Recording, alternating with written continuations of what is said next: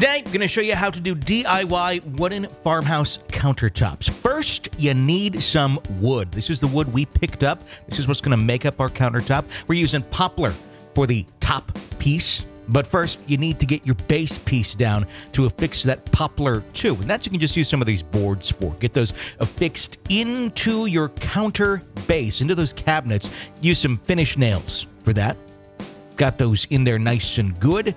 Then, on to the next step, laying out your wood. So we laid out the wood. Basically, it's kind of like a big puzzle. You cut it to the uh, specifications you need, get laid out the way you want. Don't affix anything yet. Then you take it back and you use this little tool. It's a Kreg jig. This is where you're going to be using it to make some pocket holes so you can hide those screws really easily. Let me show you how this thing works. Very, very simple. You take your piece of wood, you attach the Kreg jig, Make your pocket hole right there. You do two right next to each other. Okay, very simple. You got that, then you got the nice little inlet there. That's where you're going to be doing your screws. There's going to go right in there, right into your next piece of wood, hidden below the countertop. So this is the, the part of the countertop that's going to be facing the bottom. This is the part you're not going to see.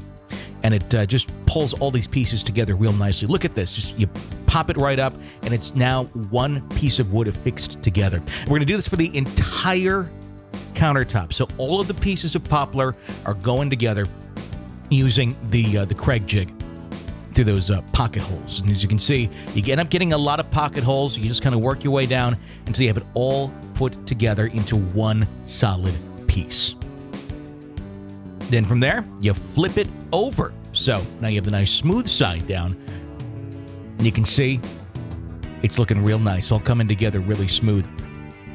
Now, of course, you're going to have a slight variation from here and there on some of the uh, the wood. So what we're going to do is we're going to fix it down, then we're going to sand it, sand it real nice and evenly.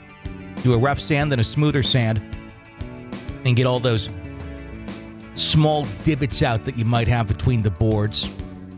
And then wipe it off with a wet rag. This is where we're going to get to the staining portion. Of course, you can do any color you want. Some may want to keep it exactly how it is. First thing you want to do is get some wood conditioner on there. That wood conditioner is going to help that stain really get into the boards a lot better and give you a much deeper and richer color. It just helps all around. So don't forget to do the uh, wood conditioning step here. After that, then we go into the staining. We use the brush method because it lets us get right up uh, against the uh, the wall there without getting it onto the wall if you have a nice steady hand. You can get it spread real evenly. Now, of course, like we said, color is completely up to you. We did one coat of this, and you could stop right there. It looks beautiful.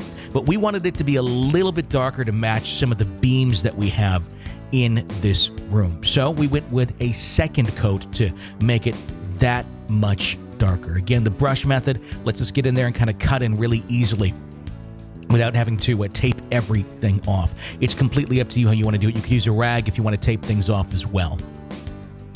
And then from there, this is what you got.